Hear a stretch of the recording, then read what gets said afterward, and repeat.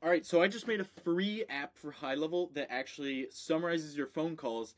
It's way cheaper than the competition because I'm gonna I'm gonna I'm just gonna take this opportunity to shit on this uh, company. So AI Call Summarizer, they don't realize I was the first one to make AI call summaries for high level, so that's their first mistake. And I also have a bigger company that I'm focusing on where I'm going to charge $500 a month as opposed to $20 a month or whatever for call summaries. So I don't really care. I'm going to make this app free. And I just want to show you this app is actually like kind of insane. So I'll give, they have nice pictures, right?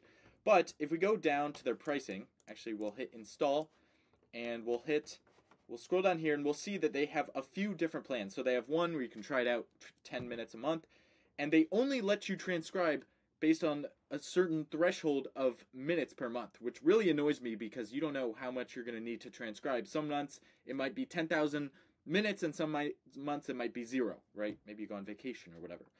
So this just annoys me, this fixed pricing.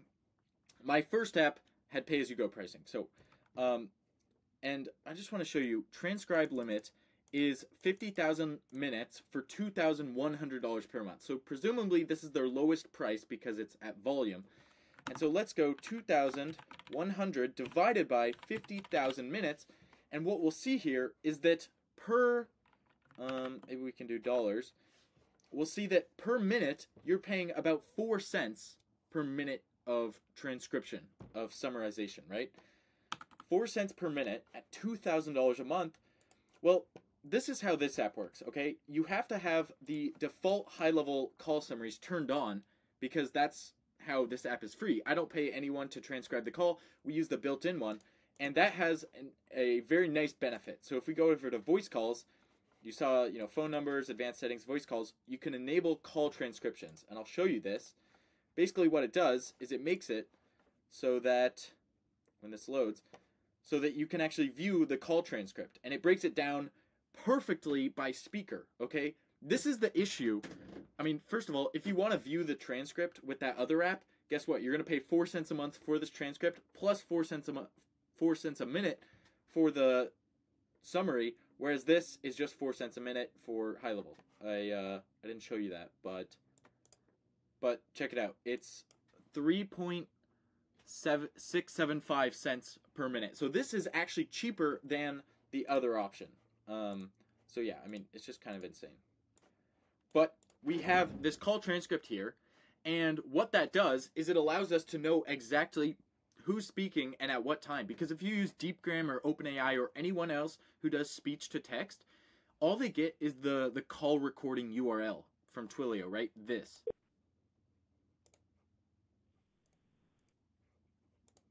Yeah, my, my audio. audio. Oh, jeez. Yeah, so anyways, it, it was weird because I'm using my phone right next to me to test it out. But all they get is that, and so they don't know who's speaking, and they try to tell based on the sound of the speaker's voice, and it's terrible. Like, I was using DeepGram, and it would have like five speakers when it's really only two speakers. So it does a terrible job of telling the difference between speakers, and this causes a problem when you just want to get like accurate summarization and accurate data for your business. Um, so what we do instead is we, we use this transcript, which actually breaks it down perfectly. And then I'll show you the result here. So basically what we end up with is we can actually tell exactly how long the speaker, how long, you know, your high level user spoke for versus the contact that they're calling or that called in. Um, and so, I mean, it's just incredible because if you want to know like how well your salespeople are doing, you know, if they're dominating the call or if they're actually like listening to the prospect, this number will tell you that, right? If they're talking for 80% of the time, that's a terrible salesperson. I'm sorry. Um, then we have the call summary. And essentially the way it works is we have this workflow, which whenever a call is completed, it checks to see if call transcripts are enabled. If they are, then it processes that transcript and gives it back to you. So what we have is this long ass prompt, and then we have the call transcript itself, and we have the call transcript direction, and we're feeding that to ChatGPT, and then we put this into the notes. So uh, count talk time percentage, and of course we have things like the call duration as well, and the message ID in case you need that. And then I have a little README down here in this snapshot just so you can kind of understand how this workflow works. Um, so yeah, you, you are still going to be paying for this premium action plus this premium action plus the call transcripts, But I think in total it's going to be much cheaper than that other app. And yeah, I'm really hoping people enjoy using this and then that they end up using my, my other app um, and paying me $500 a month. So yeah, that's the app. That's how to use it. Um, if you want to install it, I'm going to put the links below. One of them, actually, I'll just show you this. One of them is going to look like this.